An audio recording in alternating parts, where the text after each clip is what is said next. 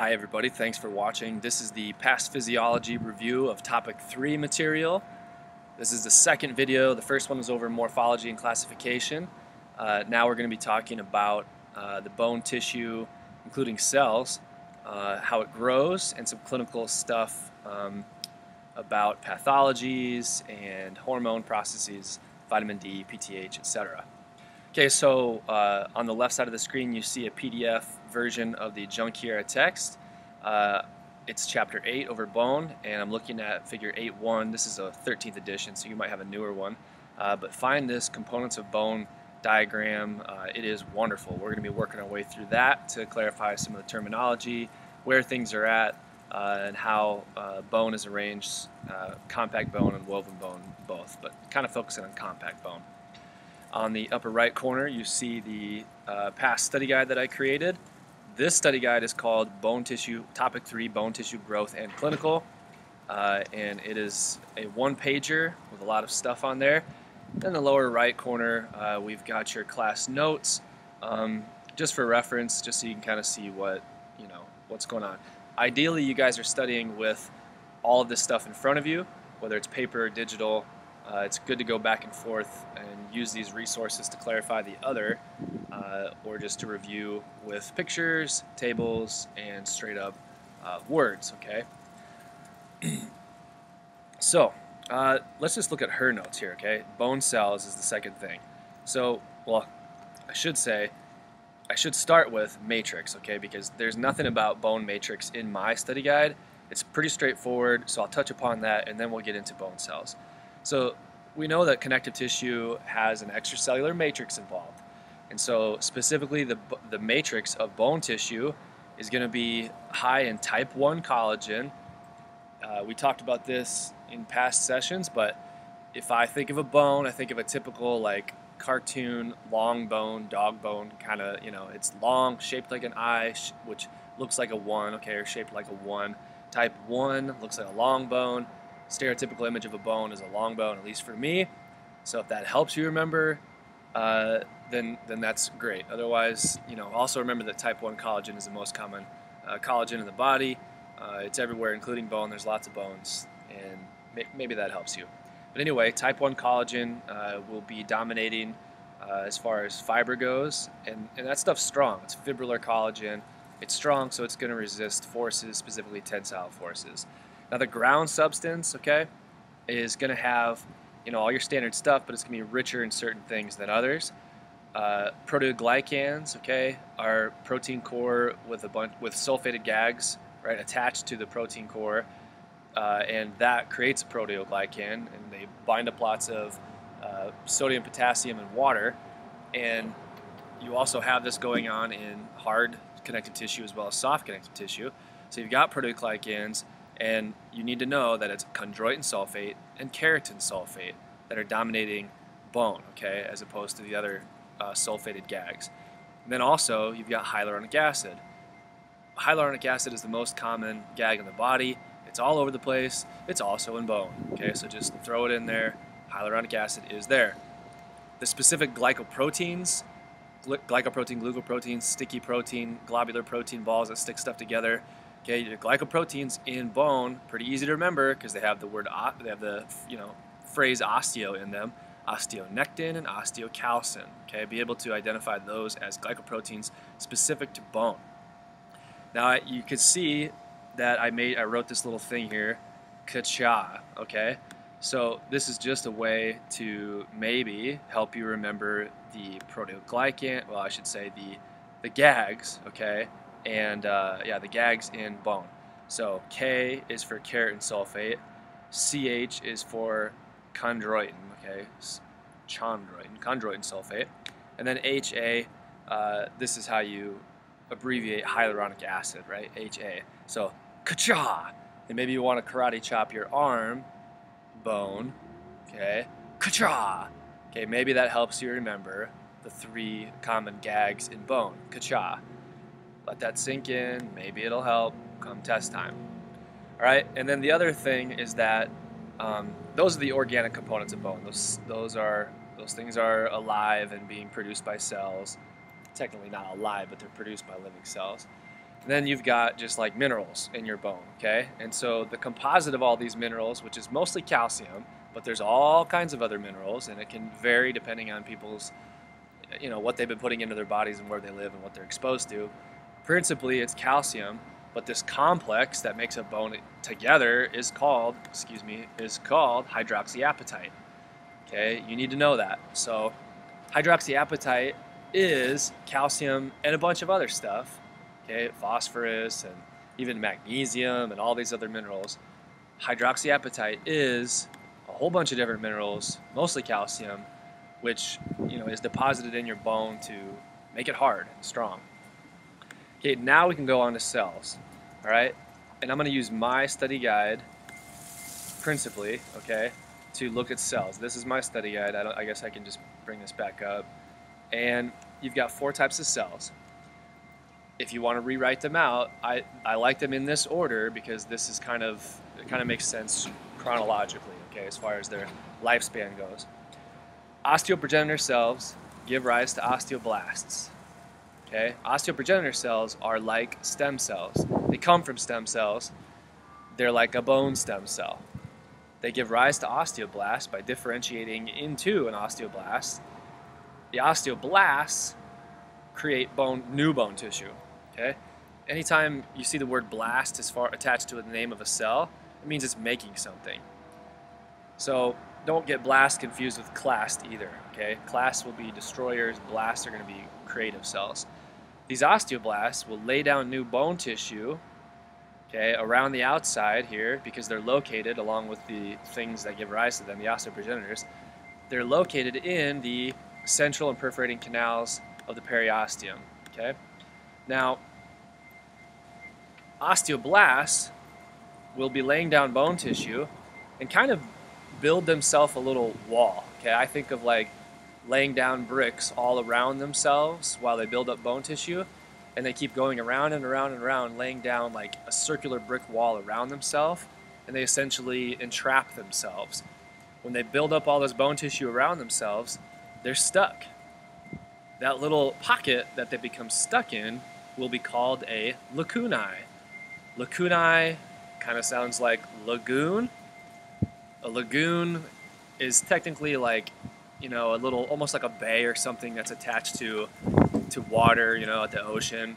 But it's kind of its own little body of water. And maybe you just think of like, you associate lagoon with tropical, you associate tropical with islands. A lacuna is kind of like a little island in bone. The osteoblast will make the lacuna. When they're stuck inside the lacuna, when they're stuck inside their bone tissue that they created, they will change and become an osteocyte. Okay, so osteoprogenitors come from stem cells. They will turn into an osteoblast. The osteoblast will lay down new bone tissue. They'll lay down bone tissue all around themselves and trap themselves into something that will be called a lacuna. When they're stuck in that lacuna, they change. They turn into an osteocyte. An osteocyte is a mature bone cell, okay? And this osteocyte is not going to be laying down new bone tissue where it wasn't before, but it will through whatever various chemical processes in response to the environment and in response to stress, which keeps them alive, physical stress keeps them alive, these osteocytes will maintain the bone tissue. Okay? So you need to know that blasts, osteoblasts lay down new bone tissue, osteocytes maintain existing bone tissue. Okay? Osteocytes are found in lacunae. Okay, osteocytes, lacunae, Okay, this is also going to be related to interstitial growth, which starts which starts with an I down here. Okay, um, osteocytes live in lacunae. Okay, lacunae of what? Well, in the lacunae of the osteons that create compact bone, or in the lacunae of the bony struts that make up spongy bone. Okay, but you need to know that lacunae are these little islands. If we come over here to this picture from your book, this label right says lacunae, and this is kind of referring to this little hole in the bone and this is talking, this osteocyte, right, is this red thing with these prongs or whatever. So the red thing is the cell, the osteocyte, stuck inside of the lacunae, or the hole in the bone.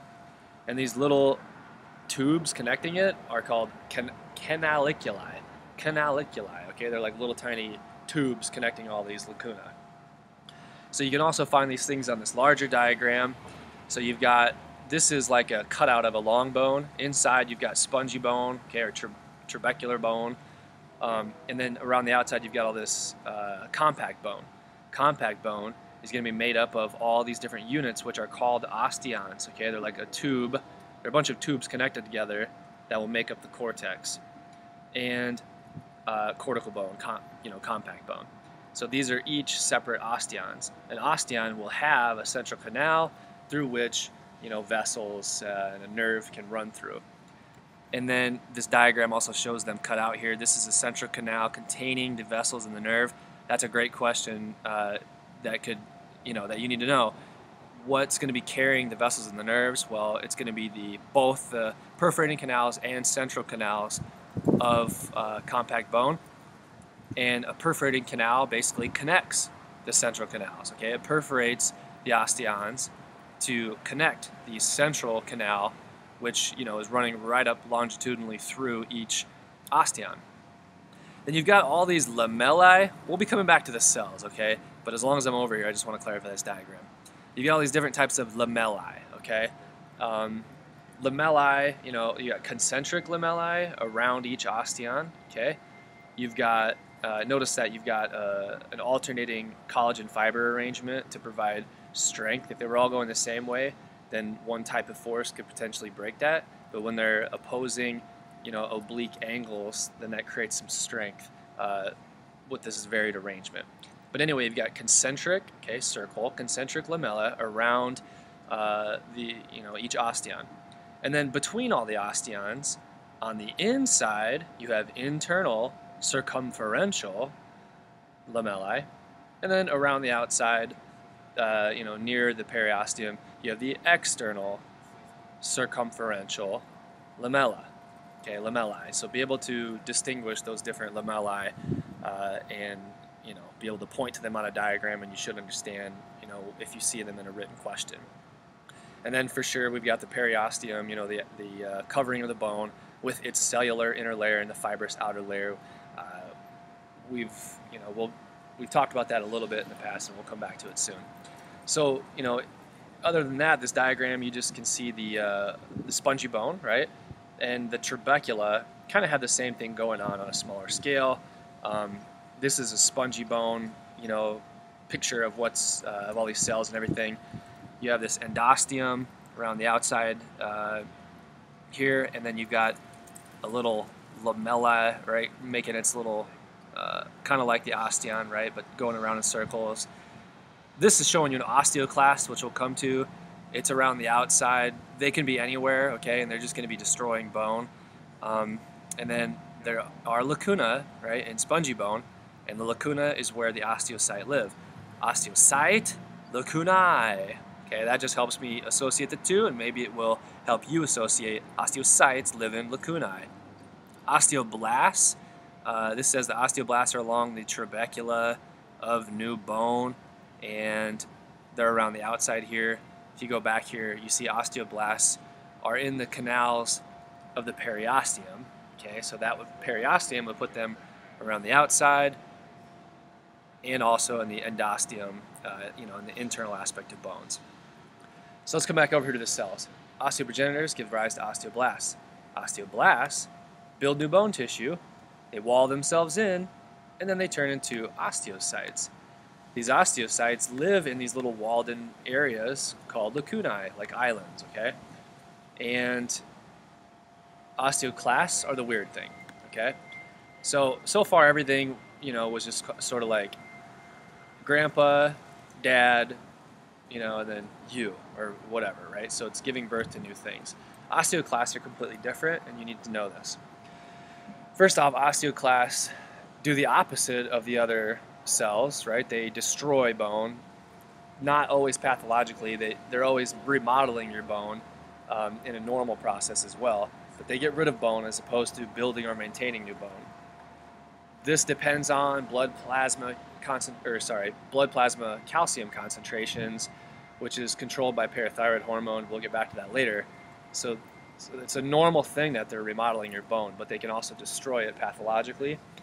But regardless, osteoclasts, okay, clast, clash, clashing breaks things. Maybe that helps you remember. Osteoclasts break down bone. They, they lyse it, okay, with a with a chemical that they secrete, basically. Um, they can be found anywhere. They don't have specific locations. They're just anywhere. And skip this little thing right here and look at their origin. They come from monocytes, okay, which are a, a blood cell. Um, they they would be related to like macrophages, which are immune cells that come from monocytes.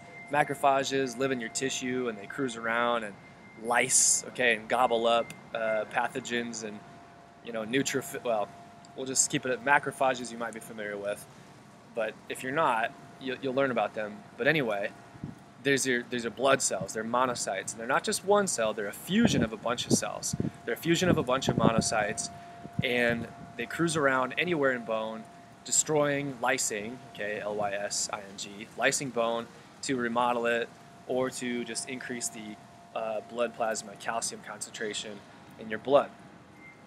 So we'll come back to this pathway, but just so you kind of know what's going on, this little plus sign with a circle around it, that just kind of indicates that this is a clinical note. And this arrow down means less, obviously. So less calcium leads to parathyroid hormone increase, which leads to osteoclasts increase their activity. Okay?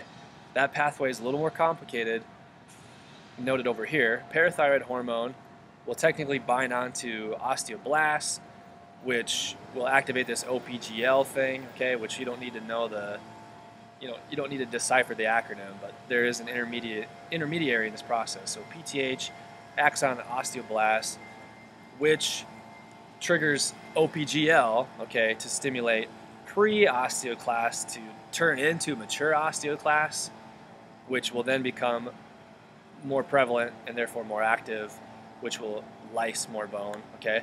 This is the simple pathway that might be sufficient. This is the more detailed pathway that might be necessary. So it's up to you how detailed you want to get with this process, but you got to know that less less plasma calcium leads to an increase in parathyroid hormone, which will essentially increase the activity of osteoclasts. And what do osteoclasts do? do? They destroy bone by lysing it, okay, chemically, and they remodel it or just straight up destroy it pathologically, uh, depending on you know the situation.